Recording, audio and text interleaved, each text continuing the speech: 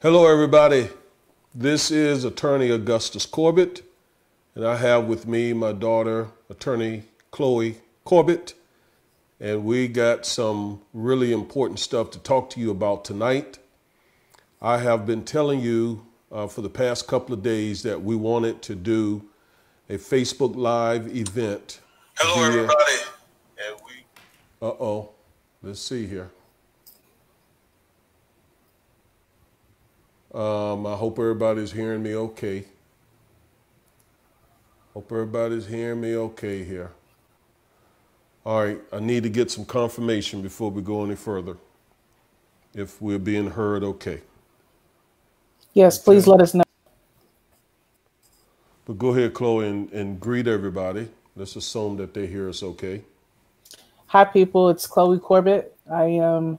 I'm glad that you are listening to our new on the new episode of our uh, Defiant Lawyers podcast today, and I'm ready to get talk to talk about these topics. They're very important.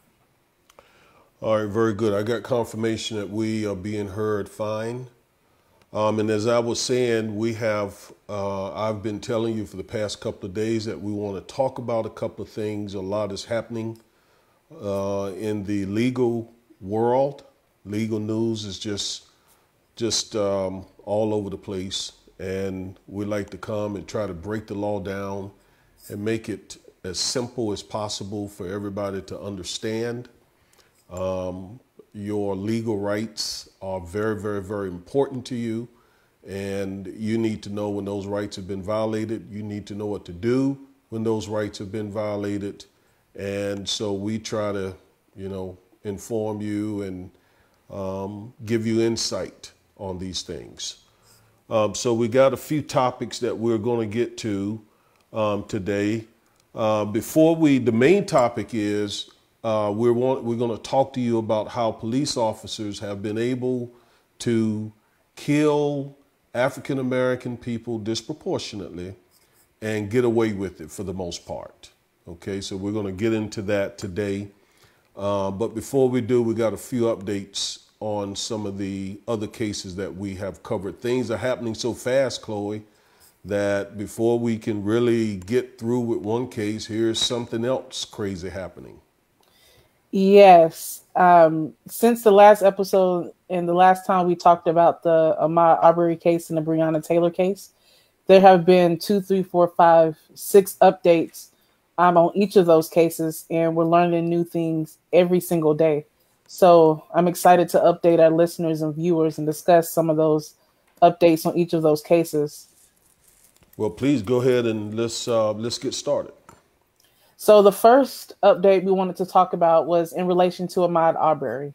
Now we have talked about the execution and killing of Ahmaud um, very extensively on this podcast. Uh, the last three episodes, uh, we have given in-depth legal analysis on some of the defenses that the McMichaels were trying and will be attempting to use now that they're they've been arrested um, and charged by the police so far. Uh, one of the major things and major updates on that case is that there has been a third arrest. Um, the Georgia Bureau of Investigation um, did put out a news a press release that they were looking to investigate the cameraman, the person who filmed uh, Mr. Arbery's death. And subsequently, since releasing that press release, uh, they have he has been charged, and he has been charged with felony murder.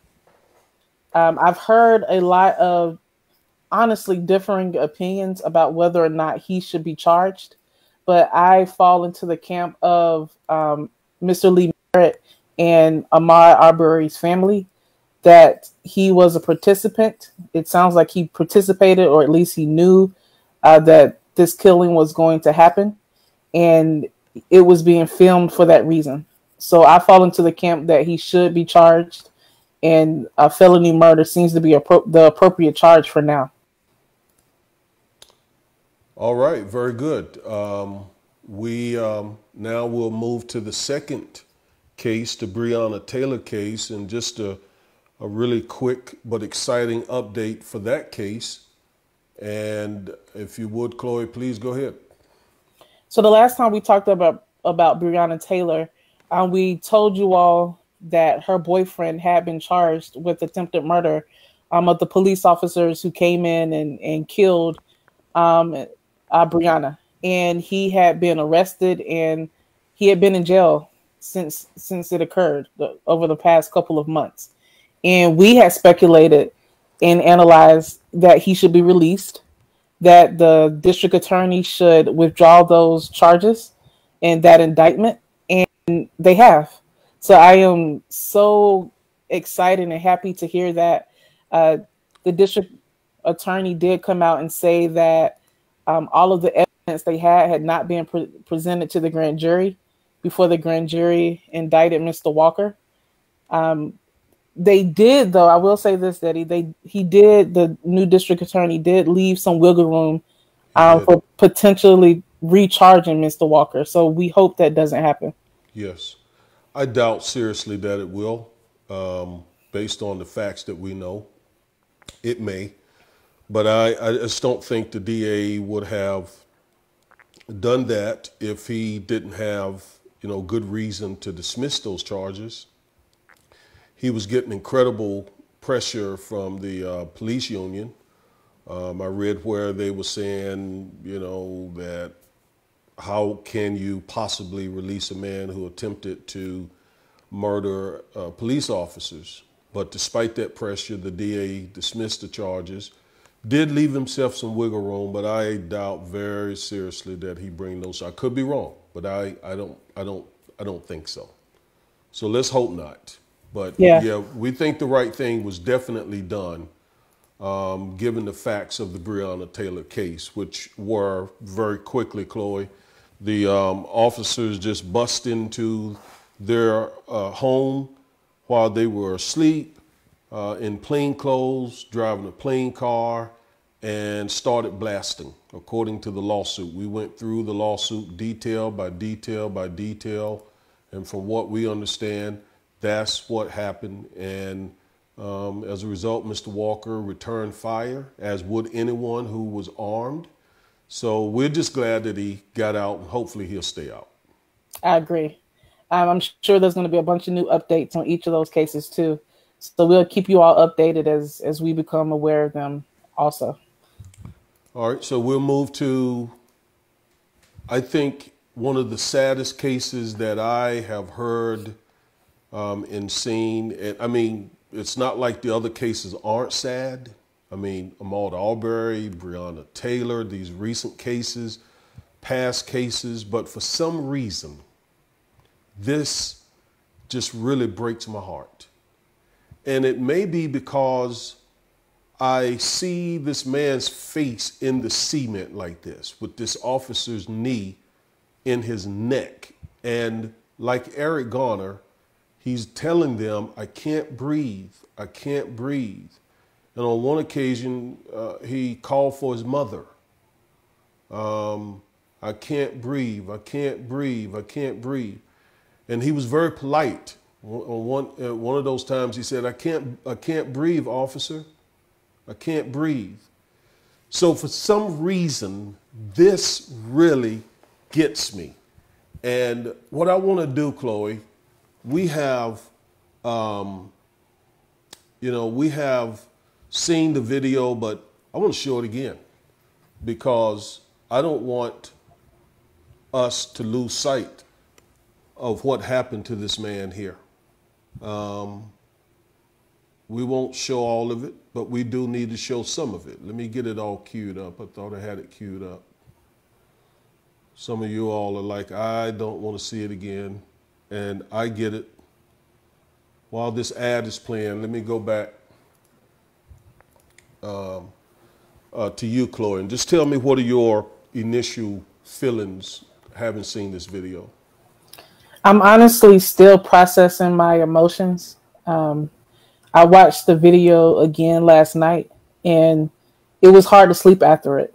I, it was it, it was just gut wrenching um, to hear his pleas um, for his life and to know that he spent the last few moments of his life with this officer literally on his neck um, as his life force um, drains out of him is just heartbreaking to think about. And when the video starts, I mean, just hearing this grown man pleading, I can't breathe, I can't breathe.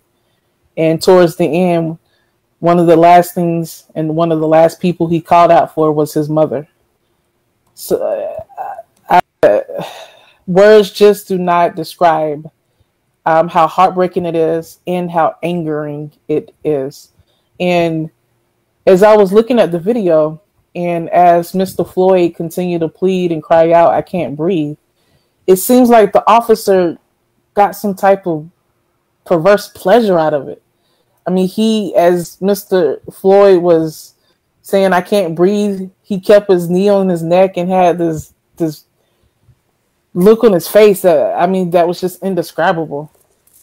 Yeah. So that was yeah. something that I noticed, and I feel like that's a metaphor for what this country and, and white America has done to our people since we were brought here as chattel property from Africa. Well, Chloe, what I'm showing now is an additional video that has been released, and it shows the officers approaching a car that Mr. Uh, Floyd is sitting in. And this is critical key evidence here because, as I understand it, the officers in their sworn, quote, sworn police report alleged that Mr. Floyd had resisted arrest. So we're looking at now a video that was released, I think, by one of the supermarkets or one of the stores uh, nearby and there doesn't show any resisting arrest whatsoever by Mr. Floyd. Um, so, unless there's some more evidence out there, this is another incident of police officers doing what police officers will typically do, and that is lie in their sworn affidavits. And I don't say that, Chloe, I don't say that uh, in a mean spirit way about police officers. I say that because after practicing law for more than a decade, I have caught police officers in lies in their sworn affidavits. Okay?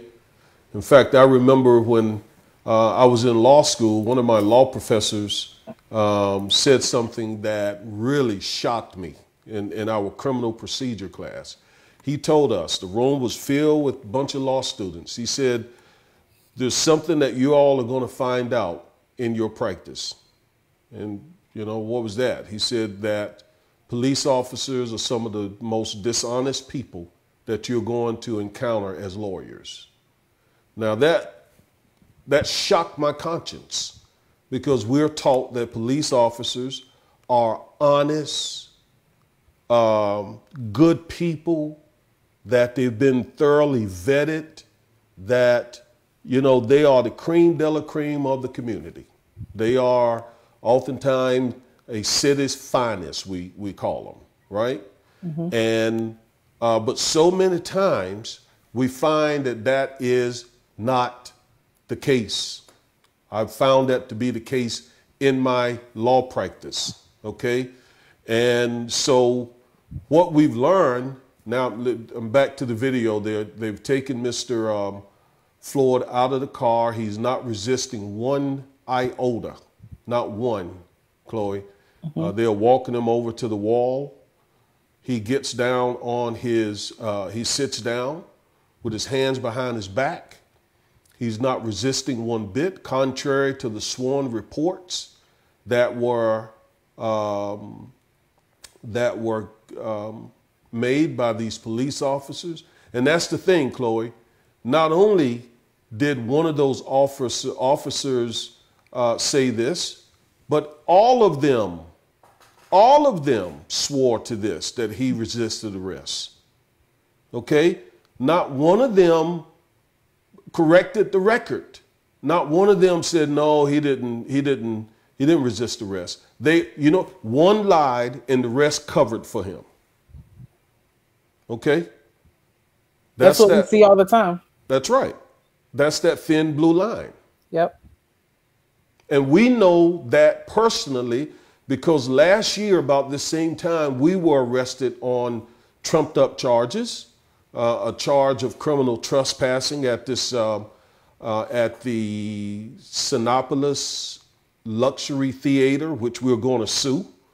Um, and the police officers lied on us. They literally just swore in their affidavits to lies. Am, am, am I telling the truth? You're telling the God's honest truth. And we, we saw with that with our personal case, and like you said, we see it almost every day or any time that we take on a new um, criminal defense case. So this is something that is not new whatsoever. It's just great in this case that we have surveillance camera and video from bystanders as well to back up um, what we say. Yeah. Now, Chloe, the video now shows uh, several officers um, uh, picking him up and walking him over to the police car. And trust me, I don't know if you can see it, but he is not resisting one iota, not mm-hmm. one bit. He's not doing anything but complying with everything that they're telling him. It does look like he's trying to probably tell uh, them that he's hurt or something, but he does not resist them at all. I don't know where that came from, okay? But at some point, now I'm going to play the other video. At some point, for whatever reason, this happens. Well, hold on. This is, I think, the all of the um, protesting that went on. Um, this this really has riled up the city of Minneapolis and the country. Yes. Um, I'm sorry I had the wrong video there. And maybe we'll come back to it. Here it is. I got it now. Because I do I do want to keep this out there. Okay, uh, an ad is playing right now, so we will just wait. It's important for people to to watch the video to see the realities of what is actually going on, um, and let it be a shock to their system.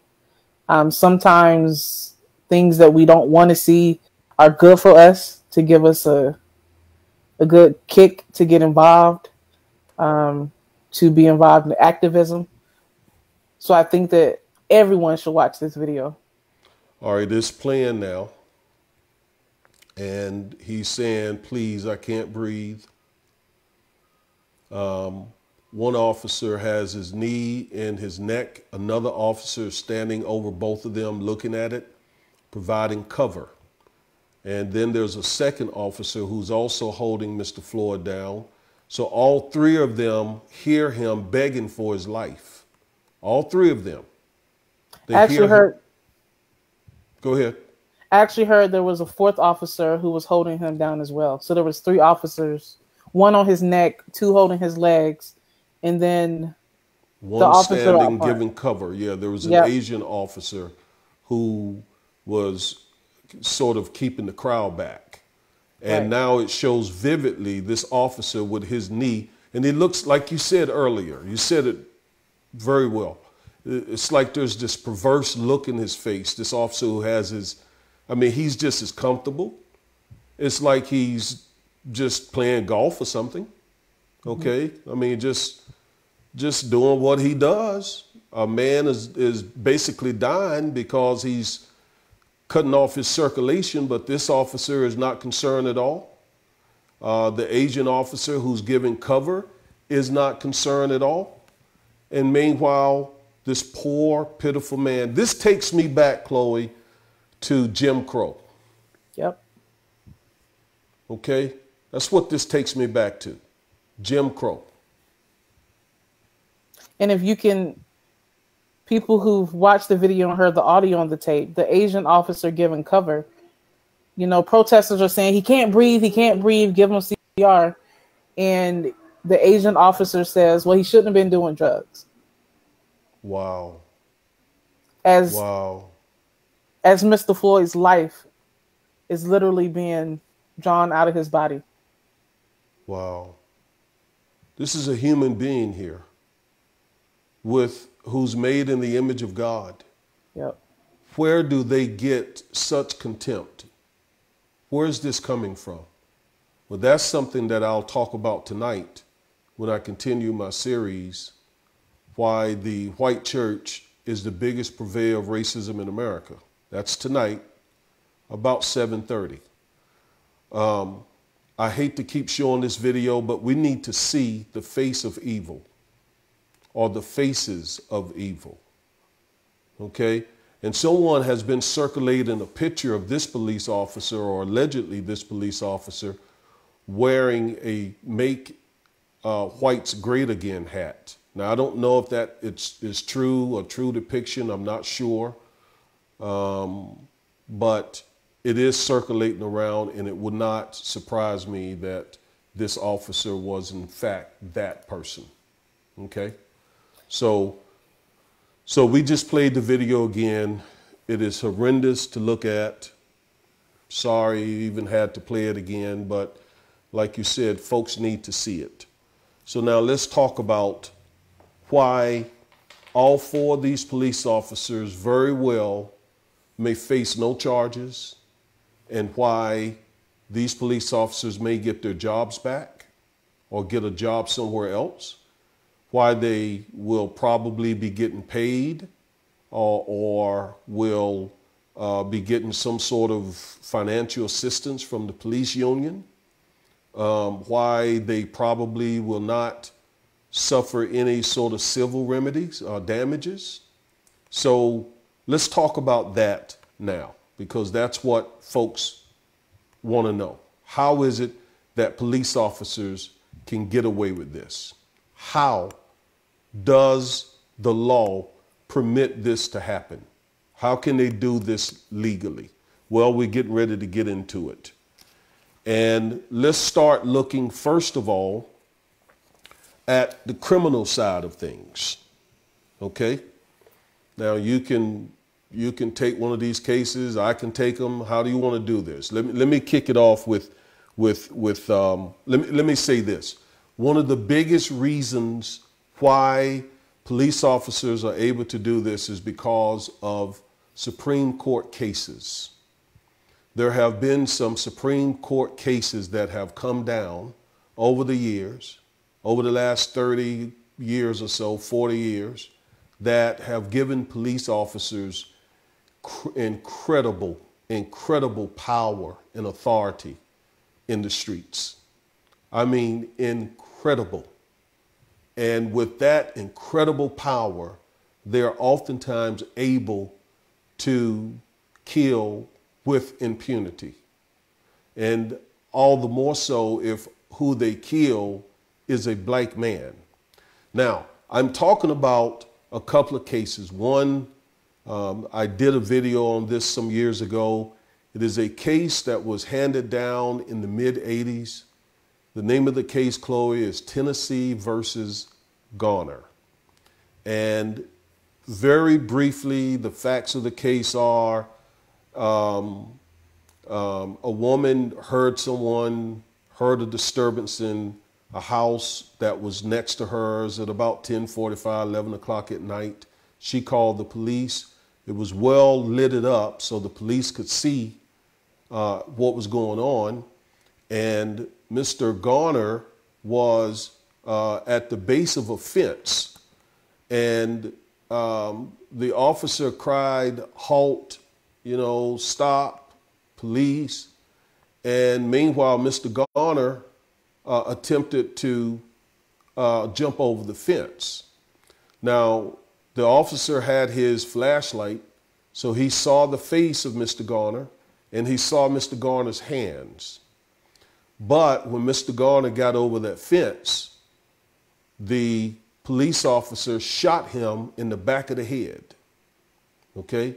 In the back of the head, killing him immediately. All right? Um, Mr. Garner's back was to the police officer. He had nothing in his hands. He was posing no threat to the police officers or to any bystander. Yet the police officer shot him in the back of the head, in the back of the head, killing him. This case made it all the way up to the U.S. Supreme Court. And I want to read for the folks what the holding was in this case, Chloe. Okay. Okay. The U.S. Supreme Court held that such force may not be used, may not be used unless it is necessary to prevent the escape and the officer has probable cause to believe that the suspect poses a significant threat or death or serious physical injury to the others or uh, to the officer. Now that's what the case is, and let's let's see what that means.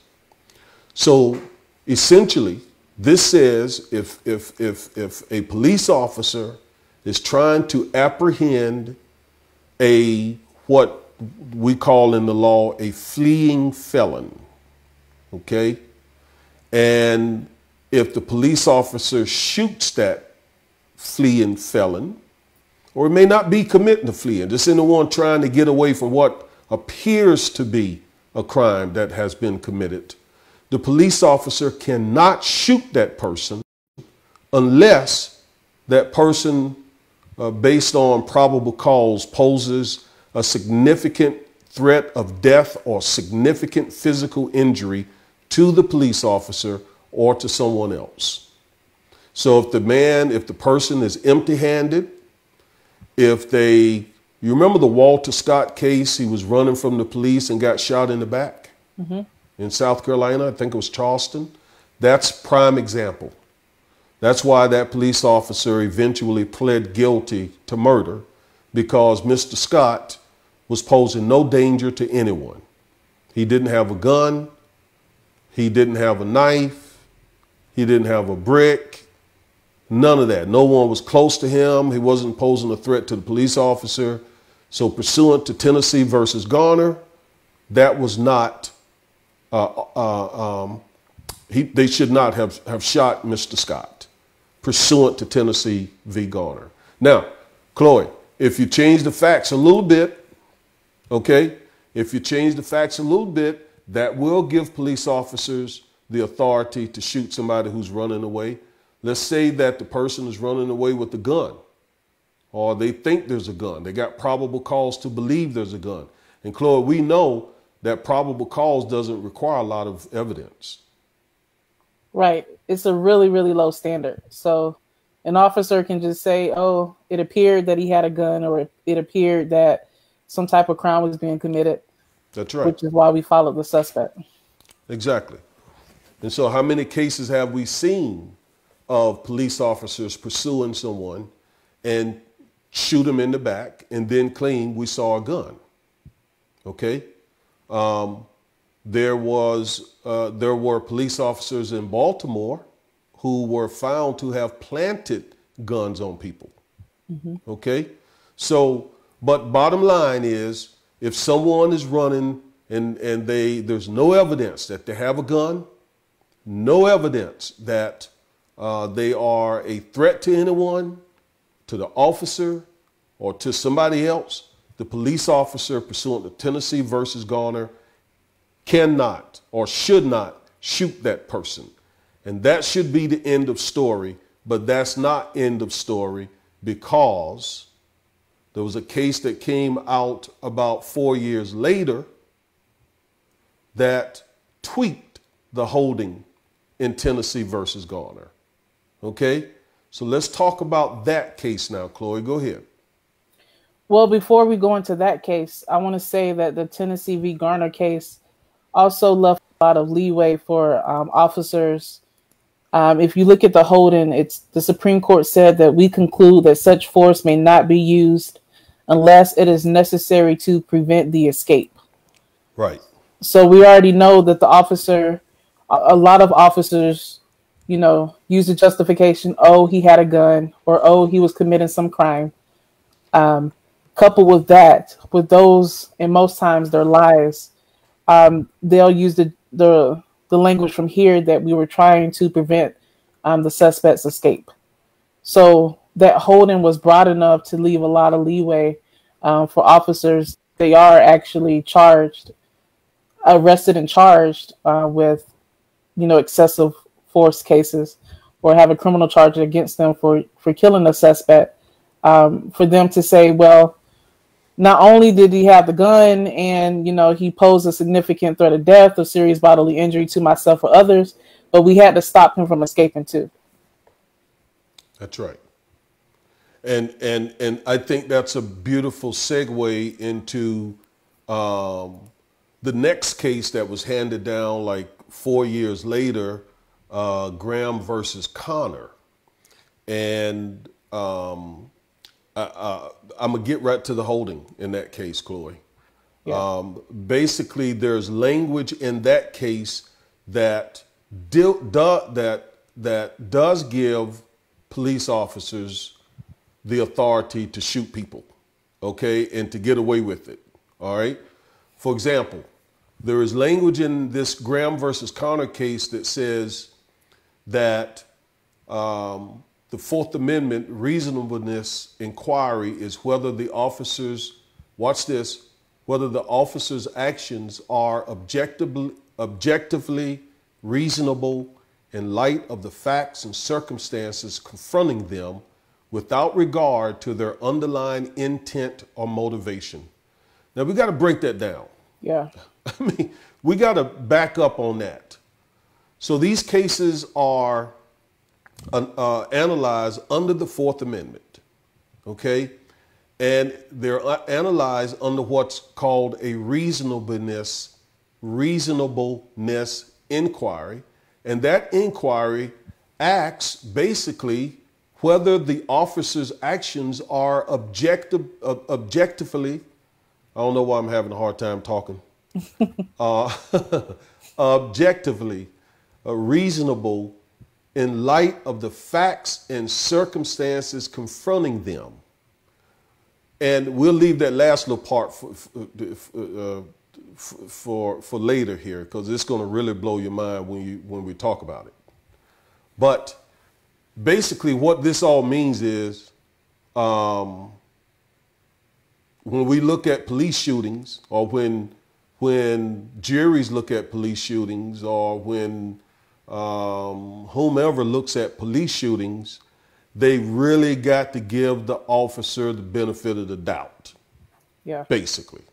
Okay, to put it in layman's terms. Whether the officer, whether the shooting was reasonable depends on what the facts and circumstances were that were confronting the officer. Okay, Chloe? Yeah, and we know oftentimes the facts and circumstances um, don't usually come out because, like we said earlier, the officers lie in their affidavits. That's if right. there's no video like there was in George Floyd's case, then it's really a, a question of whose word will the jury believe, an officer or um, bystanders or other witnesses. That's right. And then it goes on to say it doesn't matter. This is the part that should really make the hair on the back of your head stand up. Goes on to say it doesn't matter what the officer's underlying intent or motivation was. So if they were actually intending to do some harm or their motivation was bad for the shooting, it doesn't matter. What matters are the facts and circumstances that were confronting the officer. And like, like you just said, Chloe, those facts and circumstances are pretty much going to be what the officers say because there's probably going to be a dead black guy who can't speak for himself. Wow. Wow.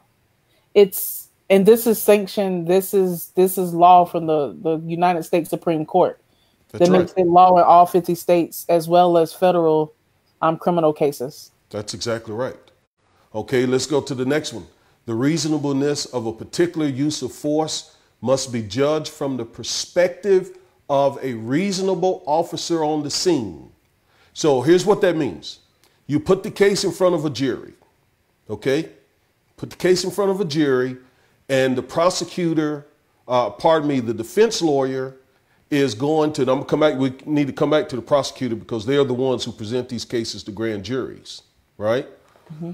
So the, the defense lawyers for the, for the police officer is going to be in the ear of the jury saying, forget what your perspective is, forget what you think that officer should have done. You got to judge this officer based on the perspective of what a reasonable office would have done on the scene. And then what they'll do, Chloe, is get an expert, mm-hmm. a so called expert, police uh, uh, um, use of force expert to come and really just make it look like there was nothing this officer could have done different. Uh, things were just so hectic, uh, which goes into the next thing. Uh, this case says its calculus must embody an allowance for the fact that police officers are often forced to make split second, split second decisions about the amount of force necessary in a particular situation. So once again, uh, the jury is going to hear from the defense lawyer and especially from the expert that this officer did what, what this officer had to do this officer was making split uh, second decisions. This officer didn't have time to sit back and think about this. This officer didn't have the benefit of hindsight. So, you all sitting in the box today, you 12 folks in the jury, uh, be careful second guessing a police officer out there protecting you uh, from uh, criminals like this uh, because you, you know if you in that situation you don't know what you were going to do either so give this officer the benefit of the doubt. You follow me? Yep. That's what happens. Okay? And these and, cases. Go ahead. These cases show that until a, a, a case goes before the Supreme Court and the Supreme Court changes um, the way it views the reasonable the reasonableness um, and reasonable inquiry standard that it applies to police officers in their criminal prosecutions of um, deadly force cases, not much will change. That's right. So, it's, yeah. No, go ahead. I didn't mean to interrupt you. So, so when people ask us, why is it that you know officers are not being criminally prosecuted? Why are charges almost never brought, or if charges are brought, um, why, if it goes to trial, do are they found not guilty? It's because of of cases like this. And if you read a lot of the police organizations and, and police association forums and literature that they out, they really laud the fact and applaud the fact that the Supreme Court um, protects their interests because it, the, it, I mean, it's clear, even to the police associations themselves, just how um, skewed in favor of police officers um, the Supreme Court really is. Yes, so that's why in most of their reports in these kinds of shootings, uh, it's pretty much sort of boilerplate uh, for them to uh, to say, "I thought he had a gun. He reached in his pocket. Um, uh, he made a, um, a, a, furtive move. Um, he uh, did something that you know just made me think that and, and, and we've seen him sometimes get on the stand and cry, you know, I thought he was getting ready to shoot me, you know, or I thought he was getting ready to run over my partner or something. Um, and that's not to take away from the fact that police officers do have a dangerous job to do, but these cases are being used to kill a whole lot of innocent people, oftentimes black people, because of the language that the court has left in these cases and these police training academies, they teach these officers what these cases say. Mm-hmm. And so these officers know pretty much if they shoot somebody, they got a lot of protection based on these cases. All right? And a lot of these cases, Chloe, charges are not even filed because when the char when the uh, investigative file is given over to the prosecutor, you were a prosecutor. Um, when, when, the, when, the, when the investigative file is given over to the prosecutor, the prosecutor will stop it right there because, you know, either they're pro law enforcement or they know what the U.S. Supreme Court has said in these cases. And their attitude is, we're not, we don't, I mean, we're not going to prosecute this. I mean, this is, it was reasonable for him to think that the guy had a had a gun. Uh, it was 12 o'clock at night. This guy was had a record. He was a felon. He had on a hoodie. Uh, he was big and black. Um, he had a bulge in his pocket. Um, whatever. Yeah. You see? Mm-hmm. And then even if the officer think that it thinks, uh, the, if the DA thinks that it should go to uh, the grand jury, they're going to present it to the grand jury in such a way to help the officer. And what people don't understand about grand juries, oftentimes the state, uh, uh pardon me, the defense lawyer for the for the uh, or the plaintiff lawyer or whoever's representing the family for the dead man is not able to go inside the grand jury when the prosecutor is presenting the case. Okay? Sometimes in some jurisdictions, Chloe, we have been able to present a grand jury packet and we can request to come in and, and talk to the grand jury, but we don't have a right to be there. It is up to the prosecutor to agree um, to it. And uh, but when they're in there talking to the grand jury, they're saying stuff uh, to, to, to kind of lead the grand jury in the direction that they want them to go. Right. And that's why, just like you outlined, that's why so many cases are not um, presented to the grand jury because the law, the Supreme Court um, rulings have sanctioned. Okay, even if we do charge this officer, it's more likely than not if it's pre- presented to a jury and that officer has a criminal defense attorney who is worth his or her salt, is going to um, play up on these factors and uh, present the law in such a way where the jury um, will likely find the, the officer not guilty. So at the end of the day, it all goes down to the rulings from the, the United States Supreme Court. Yes. And State courts, as you indicated earlier, tend to pick up on what the U.S. Supreme Court says because it, they have to. I mean, if the Supreme Court rule a certain way, everybody, like you said, across the country is bound by that ruling. And so in Texas, for example, there's a case, Trammell versus Fruge, um, 868 F 3rd 332, page 340 uh, there's language there that says that uh, there should be a careful attention to the facts and circumstances of each particular case, which means give the officer the benefit of the doubt. Yep. Mm-hmm. Okay? Whatever the officer says should be essentially believed unless there's a video okay? So keep your phones with you and don't be uh, afraid to pull them out and start recording. Now do it safely. Don't do it in a way that makes the gives the officer a reason to shoot you. Okay? Do it safely. But I'm telling you, uh, cell phones have been a game changer. They really have. I mean, we saw that with Ahmaud Arbery. Uh, we see, hopefully, we'll see that with George Floyd. Um, those officers have been fired. We're waiting to see whether they're going to have criminal charges brought against them or a civil suit brought against them by Mr. Floyd's family. Um, but keep stay armed with your with your cell phone because that can often be the difference between whether or not um, an officer is held accountable.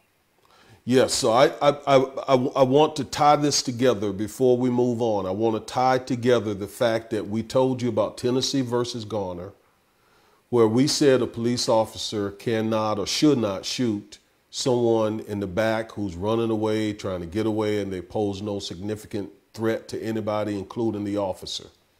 But we're saying that four years later, uh, the U.S. Supreme Court came back and gave a bunch of nuances mm. that would now basically make it okay to shoot somebody who's running away as long as the facts and circumstances according to the police officer uh, uh, you know, justify the shooting.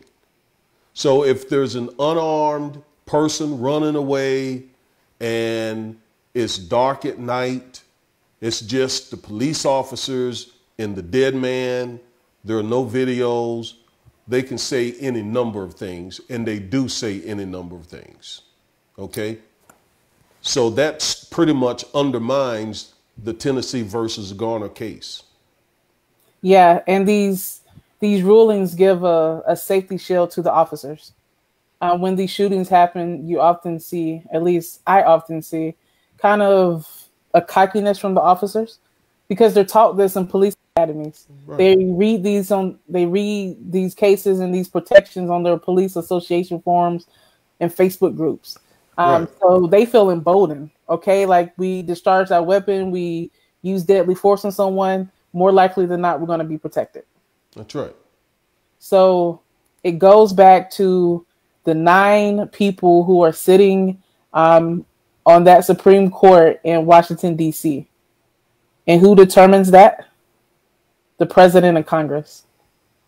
So we need to get out the vote and make sure that we have justices on the Supreme Court who understand the value of Black life, um, who understand um, that the government and the law should not just give broad protections to police officers who unjustly kill our people. So get out the vote. Get out the vote. We need people. We need justices on the on the court um, to make different rulings and interpret these cases differently. I cannot underscore that more. I cannot. I mean, Chloe, that is so very important. Right now, you have Donald Trump in office and he has nominated a bunch of extreme right wing judges. Mm-hmm. They, what, uh, nearly 200 or so of them have been confirmed by the Senate, which is what Mitch McConnell's domain over there. Mm-hmm. And some of these folks are being trained and prepared to take seats, the other seats on the U.S. Supreme Court so that they can continue this sort of jurisprudence uh, to protect these kinds of shootings. So, oh, you're so absolutely right. You just can't think about um, who the president's going to be. You got to also think about who's the president going to nominate yep.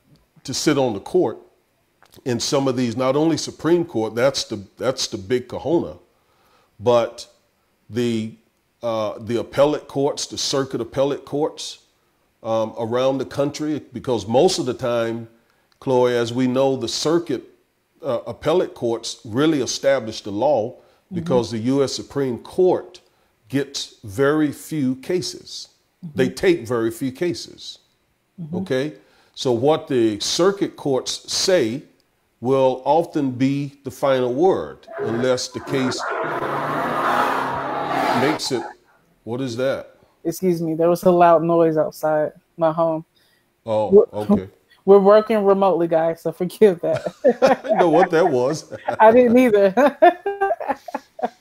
uh, but at any event, yeah. So these appellate courts, the circuit appellate courts, are the ones who determine much of the law across the country because the U.S. Supreme Court only takes 80, 90, 70 cases or less than that.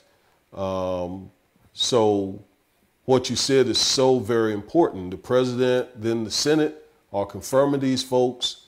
And a lot of my conservative friends, um, you know, they, they look at the issue of, of abortion and they look at the issue of gay marriage, and that is it for them. That's the end of their analysis. Mm-hmm. Um, and a lot of these folks that Trump has nominated are uh, or you know, I, I, a lot of them I think are pro-life. They're probably uh, pro-traditional marriage, um, and uh, but they also tend to harbor a strong animosity towards civil rights, and they are like hungry wolves, oftentimes waiting to get their hands on a civil rights case to to, to gut it.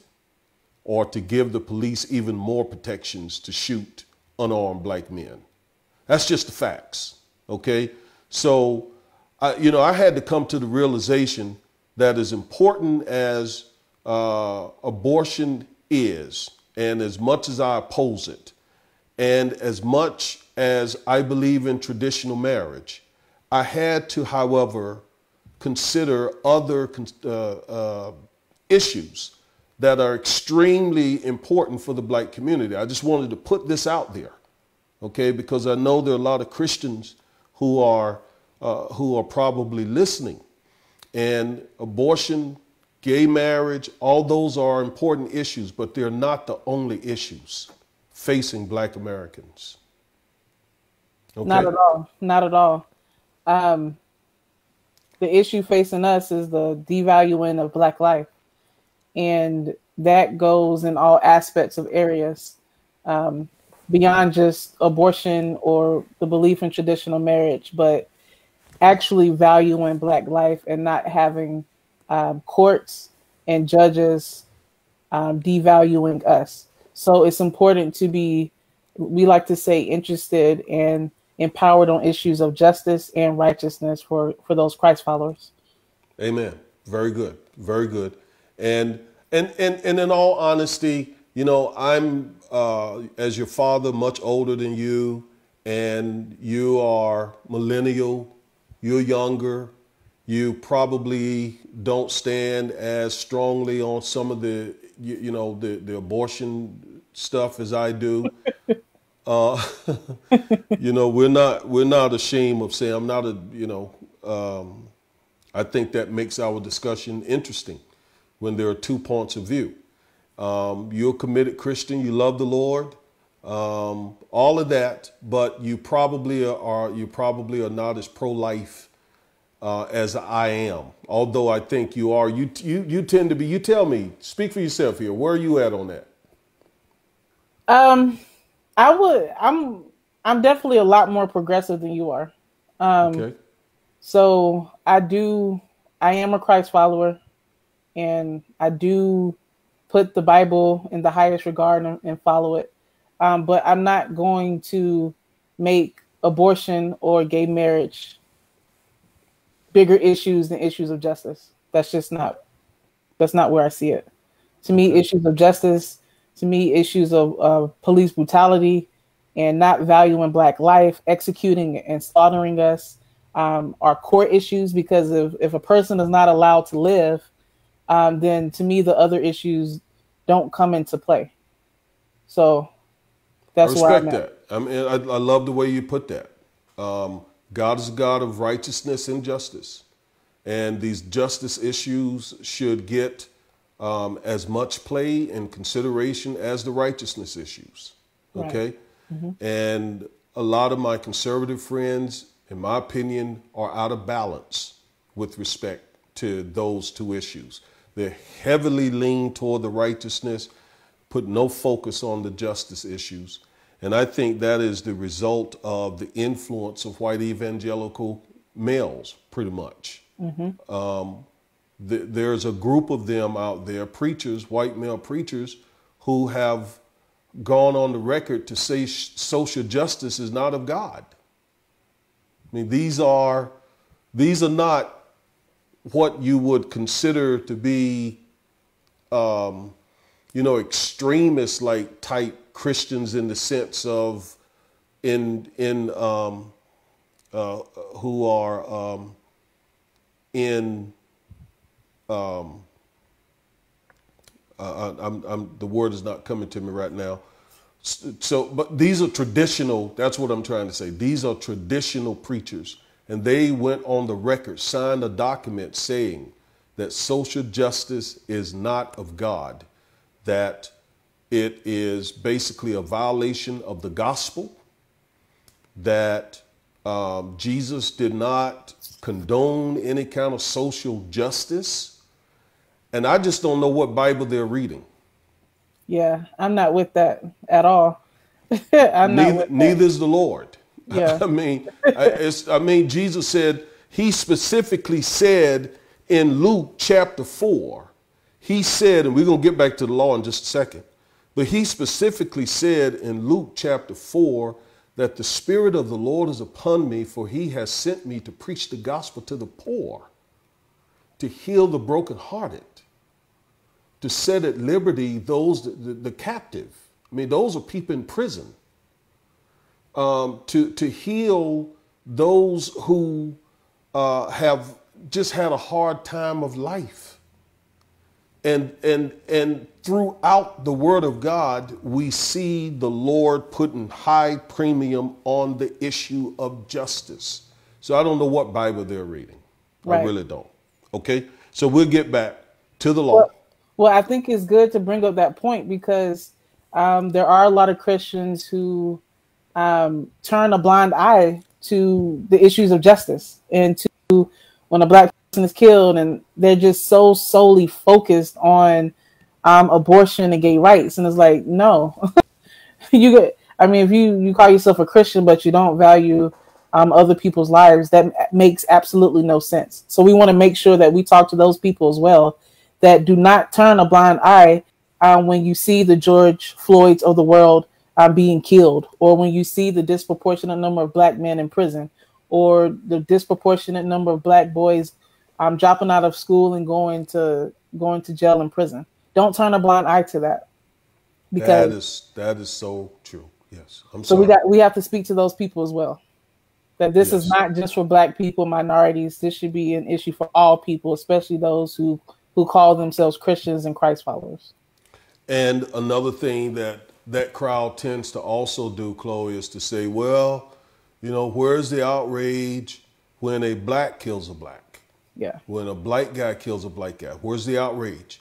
Where's all the where all the and and and I've felt that at times myself. I still feel like we need to put a good amount of focus on the violence that tends to permeate um, poor African American communities. I, I'm not at all shy about saying that because we lose a lot of young black men. You and I see you and I see it every day. We represent some of these guys and we see every day how black on black crime is is is taking the lives of a lot of young black men. But here's my point, Chloe. We can say that and still stand against blue on black crime. Exactly. They're not mutually exclusive. And and I also understand why the outrage is so strong when you see this kind of thing happening. I'm putting back on the screen now the police officer with his knee. This is a police officer. He has a badge. He's an agent of the government. He's sworn to protect. He's the cream de la cream of the, of the, of the, of the community of the, of the city. His background has been thoroughly vetted. He is um, supposedly someone that we can trust. And he does this, they do this. So, yeah, we don't.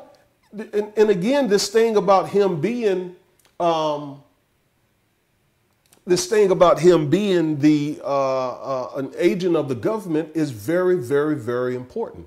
This is government tyranny when we see this. So we need to stand against it. Absolutely. And we have a right to stand against it. Amen. so, all right, so now we're going to get back to, um, let's get back to the law here. Um, because the last thing that we want to talk about now is the fact that not only are these police officers not held criminally liable, but they also tend to get away with, with, with this stuff in civil court as well. So, like the family of Mr. Floyd is hoping that the officers will be charged with, um, with the crime. They're also hoping that they can prevail in civil court and get money damages against these officers and against the city. Right. Um, so, but we find out, Chloe, that the police officers have protection as well in civil cases.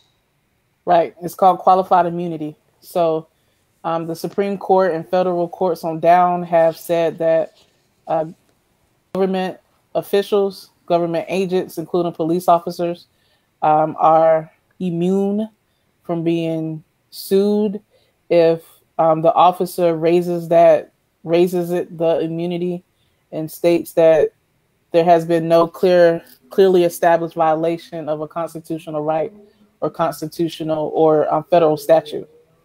So oftentimes these civil cases, excuse me for the noise outside, guys. I'm sorry if y'all hear that. it's live, like you said, ain't no biggie. It's live. so oftentimes, um, when these civil cases are brought, the, the officers bring up this defense, qualified immunity. Um, they it's affirmative it's an affirmative defense. Um, so they bring it up and the plaintiff usually can not show what clearly established violation has occurred of a federal statute or constitutional right. So the lawsuit is stopped at its tracks. It doesn't That's even right. get to a jury.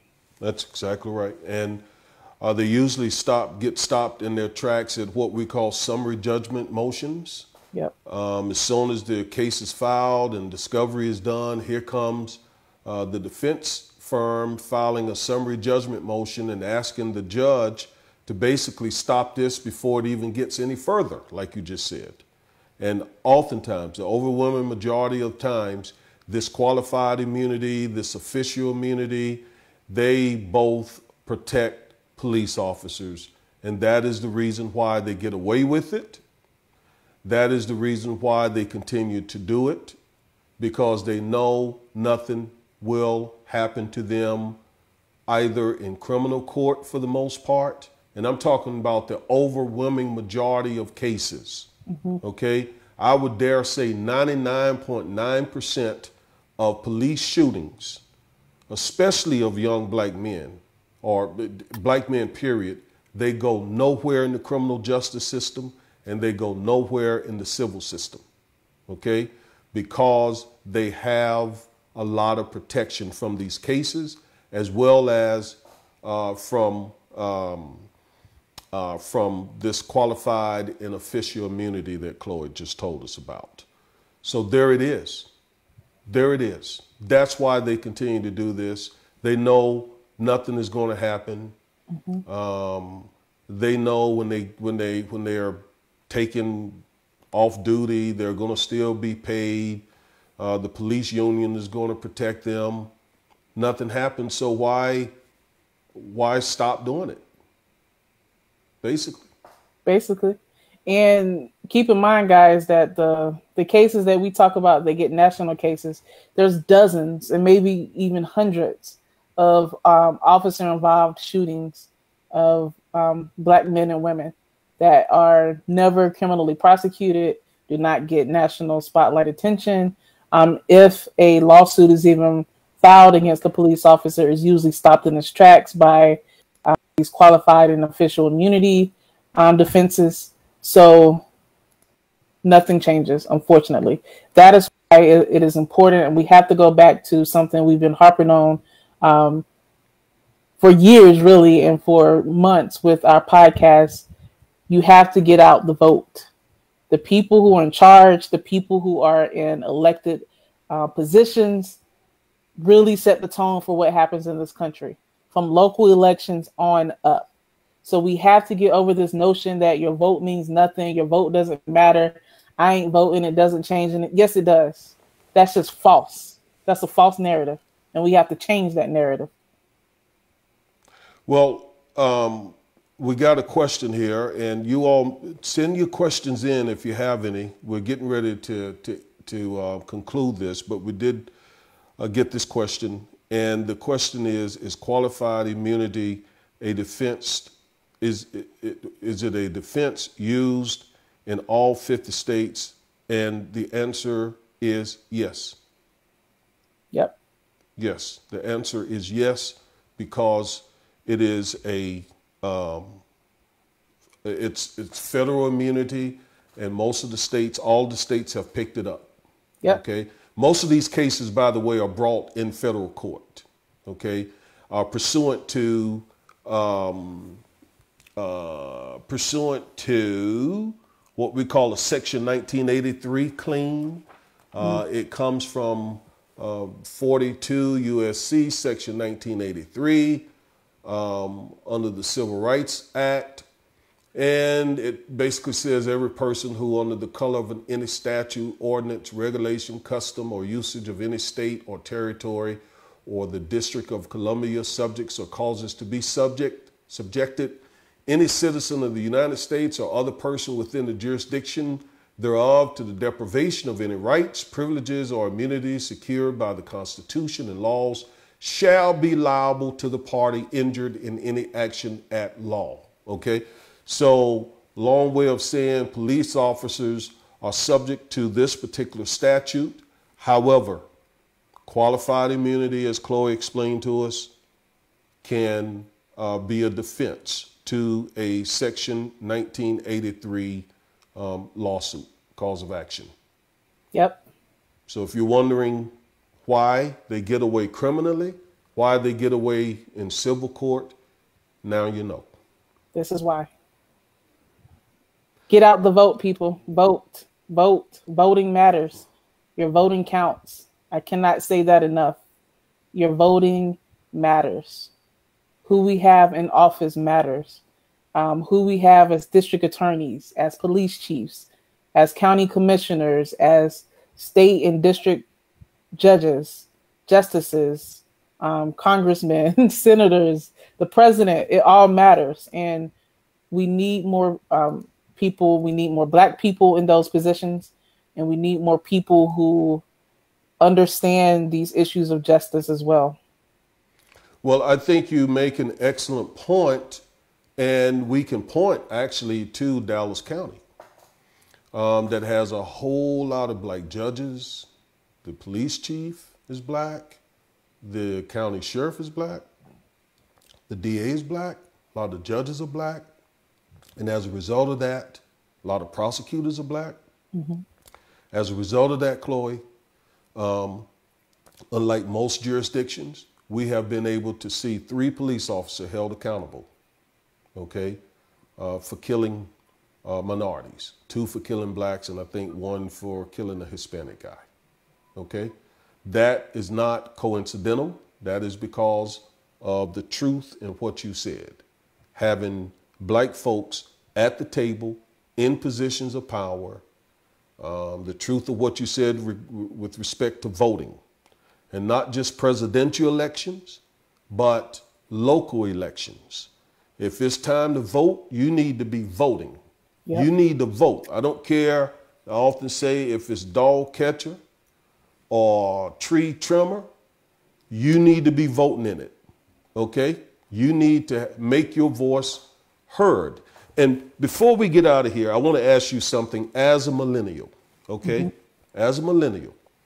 Um, P. Diddy, Charlemagne, and I think Ice Cube is now on that bandwagon. They're saying something about hold the vote to get the Democrat Party's attention, um, to force the Democrat Party to take the black vote more seriously, which I agree with. I agree with making the Democrat Party take our vote more seriously. But I don't know if telling people not to vote. I don't think, I, I know that's not the right way to do this, okay? Our forefathers would turn over in their graves, number one. That's looking back. And number two, if we don't vote, we just laid out for you how that can affect issues of criminal justice, of excessive force cases. If you don't vote and get the right people in these offices and in these courts, the stuff that we're seeing here with George Floyd and others will continue. Now, that's my position. Chloe, what is your position on that? I feel like the sentiment behind it is correct. Uh, we do need to be more um, discerning of who we give our votes to. Uh, because if, I mean, the Democratic Party relies on our vote, therefore, oftentimes they only give us lip talk about what they're going to do for the black community and don't actually do anything. I don't believe I'm um, holding the vote is the right way to um, hold the Democratic Party accountable to us. Uh, if let's start our own party or do something else to achieve the means of uh, making both parties uh, make sure that they're accountable to us and that plans are put in place um, that help the black community specifically. But not voting and holding the vote, I don't believe is the right way to do it. Absolutely not. Yeah, that's never the right thing to do, ever. I, I remember when Hillary was running a group of preachers, um, including Charles Blake of the uh, Church of God in Christ, uh, presiding bishop. Uh, he and a group of other preachers penned a letter and sent it to Hillary saying, okay, we're going to support you, but here are the things that we want you to do. These are the, if you want our continued support, and though in the support of our congregations and our members and our communities and neighborhoods, these are the things that you have got to do. I think that's a better approach, Chloe, than some hold the vote. Okay? That's all some black folks need anyway to stay home from the polls is to hear Ice Cube and P. Diddy say don't vote. Yep. That's that's going to be enough for them to stay home. And that could very well be the reason Donald Trump gets reelected because of that foolishness. Okay, that is foolishness to me. We got to vote, not just because of what happened, uh, the fact that we lost Dr. King and other folks trying to get the right to vote, but for the future. We can't stand, I don't see where we can stand as African Americans another four years of Donald Trump and this racist stuff that he brings to the table. We got to get rid of him. And we also need to get folks in the Senate and folks in the House and then on down the line, down ballot, ballot votes, folks in, in the DA's offices around the country, folks in the state legislatures, folks uh, in the governor's office who are responsive and attentive to our issues. Yep. I'm an ABT voter. I'm an anyone but Trump voter um, he has to get out of office.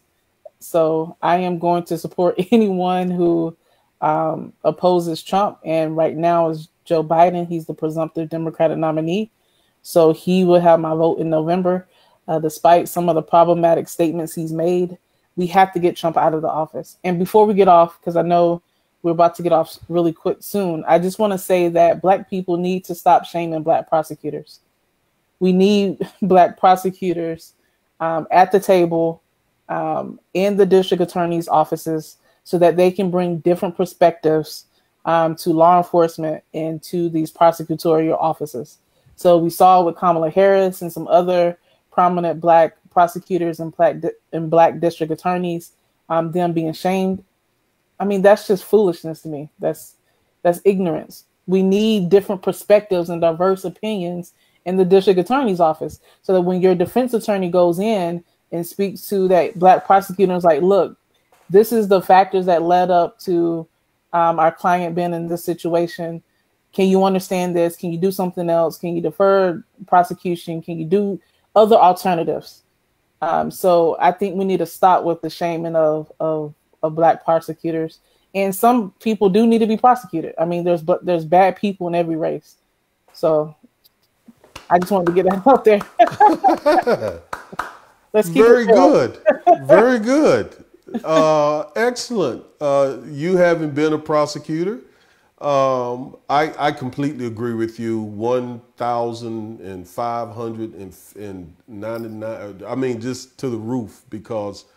Now, I've never been a prosecutor, and, and I'm happy to say I've never been a prosecutor. uh, but at the same time, it is just what you said is so critically important. We need more black folks in the prosecutor's office and in the police department and in the sheriff department and all over the place. You know, even uh, you know, even shaming black police officers. Uh, we need more black police officers. Okay, yeah. we just need them to stand up yeah. when their white colleagues are doing foolishness. Okay, we've seen uh, with our incident, there were a couple of uh, a couple of black police officers that we thought would just come and just get things straightened out for us. Man, they did exactly what the white guys were were telling them to do. Yep. So we need we do need folks in these offices and these positions, but we need them to have backbone. We need them to have um, you know a propensity for justice and to be able to stand up to their white colleagues. Would you agree with that, Chloe? I would agree. Stand up, stand up, stand up. and, and, as we come to a close, um, I do want to go back to Joe Biden a minute. I, I looked at Joe Biden's 22 page um, Lift Every Voice um, Black Agenda, mm-hmm. and I compared it in two different videos to what Donald Trump is offering. Donald Trump has no agenda, is my conclusion. Joe Biden has laid out a very detailed agenda. So I don't understand what Charlemagne and P. Diddy and the rest of them are saying about not having a black agenda. Glo- uh, uh, Joe does have one. Okay. Now he, he, he needs to do even more. There's always more you can do to help the black community get from, from where it is. But he, someone has put some serious thought into issues that affect our community and, and, and, and wonderful. Now I heard a report about Joe's campaign that basically said the folks who are at the very highest echelon of his campaign are average age 62 and they are all white. Mm-hmm. Okay. Now, though that needs to change because those are the people that are really advising Joe and who are making the decisions for his campaign. Okay and the rest of the all the black folks who are underneath them are just told what to do. Y'all just go make this happen. It is the folks who are around him and at the highest echelon who are all white and old, okay? He needs to stop that. And yeah. now, do you think that he should have a black female running mate? I do. Because okay. I feel like black women put him in as the presumptive Democratic nominee, and especially in South Carolina, um, especially after um, Congressman Clyburn came out in support of um, Joe Biden. Um, black women really came to town for him, and he, I believe, he owes us. Now, I saw an interview that Joe Clyburn did with the View ABC. Jim, Jim Clyburn. Excuse me, Jim Clyburn. Yeah, and I'm glad you're bringing that up Okay, I'm glad you're bringing up that interview because I was going to bring it up. Yes, one of the anchors, Sunny Hostin, who's a former prosecutor and lawyer, um, she has the same position as me. She she basically said that she believes that Joe Biden should um, choose a black female vice president, and Jim Clyburn he bucked at that, and he said, "I don't believe anyone should be telling him what he must do," and he really rebuked her. Uh, I think that's old school thinking. I think that's why a lot of black millennials are not with Joe Biden and with the Jim Clyburn crowd. Uh, I think that's why a lot of um, the Charlemagne's out there and other rappers and other millennials um, feel like the Democratic Party are uh, taking advantage of our vote and they're using black people kind of as Uncle Tom's. Their words, not mine. Wow. Uh, yeah, I, I, I saw some people call Mr. Clyburn that. So there's a disconnect between people your generation and people my generation that as to how best to go forward to make sure that our vo- voices are heard and that people in leadership make sure that we're taken care of. No, you're absolutely right. Um, Jim Clyburn is someone that I hold in the highest regards. He is um, uh, a well-respected uh, congressman. He has leadership position in Nancy Pelosi's, um, um, you know, cabinet uh, or you know the people around her. Um, but there are a couple of things that I strongly disagree with Jim Clyburn about. One of which is what you just said. I think, I personally think he should have a black female running mate. Period. And I think that it would be a big mistake if he doesn't. because um, black people make up 20% of the Democrat Party, and most of that 20% are females, black women. And if you don't believe black women have a considerable amount of power in the Democrat Party, come here to Dallas, Texas. And, and you will see that nearly anything a black woman runs for here, she wins. Okay? Because most of the Democrats here are black women. All right, And that's pretty much true across the country. But that's not the only reason I want to see a black female pre- vice president. I love my sisters. Um, and I think that the black female perspective is long overdue and should be, I mean, you've, you know, you all have, have, have been so strong and so powerful um, in the black experience in the American experience. And now, for that reason, Chloe, more than even seeing a black woman vice president, and this is one of the things I held against Obama, I would, I would even more so love to see a black woman on the U.S. Supreme Court. Yeah, me too. Okay. Um, I mean, you got everybody else up there, not one black female. I don't get that. I don't understand why Obama didn't do that. He was able to put, I think, three people on the court. Yeah. Was it three?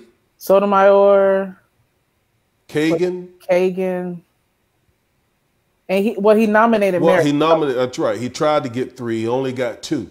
Yeah. One of those should have been a black woman. I agree. Period. Point blank. Hands down. Should have been a black woman. Okay. And so I'm, I'm, I stand strongly for that, for putting a woman, a black woman on the court. And that may be what Joe ends up doing, kind of splitting the baby. Okay. Um, I'm a, I'm a, he may end up saying, I'm going to put a, a white female, I'm going to have a white female running mate so that I can bring in more white votes. Um, but black people, I am going to give you a black supreme, a black female Supreme Court justice. I don't know but that may be what he ends up doing. I don't know. Wins, it, it, that kind of sounds like a cop out because he can say, "Well, my plan was um, if I won to to nominate a black female justice, but I didn't win." So, um, look, like I said, I'm ABT. I'm anyone but Trump. I'm going to enthusiastically vote for Joe Biden. I did vote for Bernie in the Texas primary um, just because I think that that was just a very unique vote to do, and he's likely not going to run again. And I agree with his policies, but um, we need Trump out the office, point blank. Period. Let's just get back to some normalcy. Hold Joe to the fire, and if we don't like Joe, I mean, we can try to nominate someone else. America, did you hear that my daughter just admitted that she voted for Bernie Sanders? Bernie Sanders. I sure oh, did. I surely did. All right. Okay. I mean, it is what it is. You're a grown woman, you know. um, you know, but uh, um, that. But I, I think it brings an interesting take to our conversations because, look, we're of different generations. We both love the Lord. We yeah. both are on our way to heaven. We both speak in tongues. We, all of that. Yeah, all of that. But uh, we we do see the world slightly. Uh, is it slightly, uh, considerably different? Slightly different, maybe a little bit between slightly and considerable. Mediumly different. okay, moderately different, right? Yeah, moderately different. I guess I told you, you all I voted for Bernie, huh? No, you didn't, and okay. you didn't have to. I mean, that's your thing. I mean, that's completely you. Now, yeah. Chloe, what I've done is I put um, Mr. Floyd's family on the screen. I don't know all of these people. I think one of them is his brother, uh, probably a sister, but I didn't want to leave without um, putting his family and making this real for us. Um, his family I saw one sister do a Today Show interview today, and she has not seen the video. Can you imagine seeing your loved one? Can you imagine your loved one's death, last few moments begging for his life, is on a video that is circulating around America uh, and will be all. I mean, that is just. I I I can't fathom that. Really. I can't imagine it. Mm-mm. I can't. And then he, to hear him cry out for his mama right before he lays his head down. It's amazing. And, and passes. And we are we are um,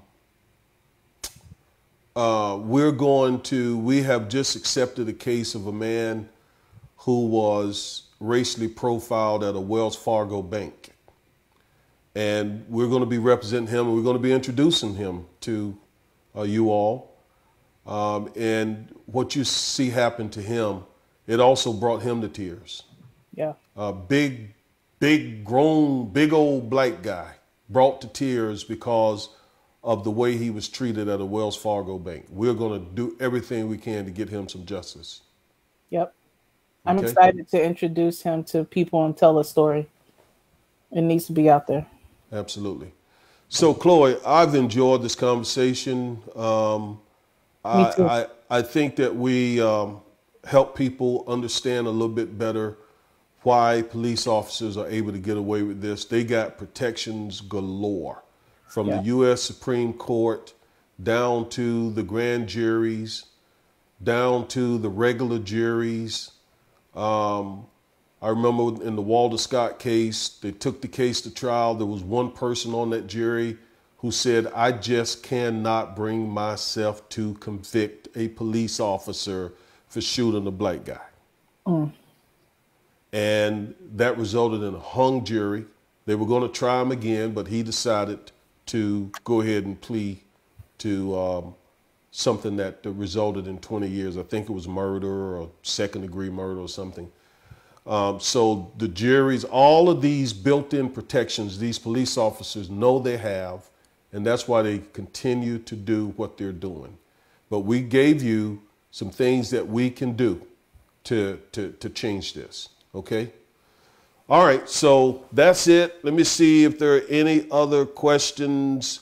Um, we do encourage you all to uh, go to my Facebook page and find those videos that I of me do, of comparing the Biden, um, the Biden, what is it? Platform platform or what do they call it though? The Biden Black Agenda. Oh, mm-hmm. yeah. Uh, com- where I compared Biden's Black Agenda and Trump's lack thereof. okay. uh, yeah, go to my page and look that up. I think it'll be very informing. Or you can go to our YouTube page and watch those videos. We have uploaded them to YouTube. Well, Chloe, I enjoyed it. I don't have anything else. What about you? I did as well. Guys, please share this video. Um, share with all your friends. Get it out there. We want as many people to see and be educated and gain knowledge from watching this video. I pray that you all have a blessed rest of your week, and we we will see you next time on our next episode. Peace. Peace.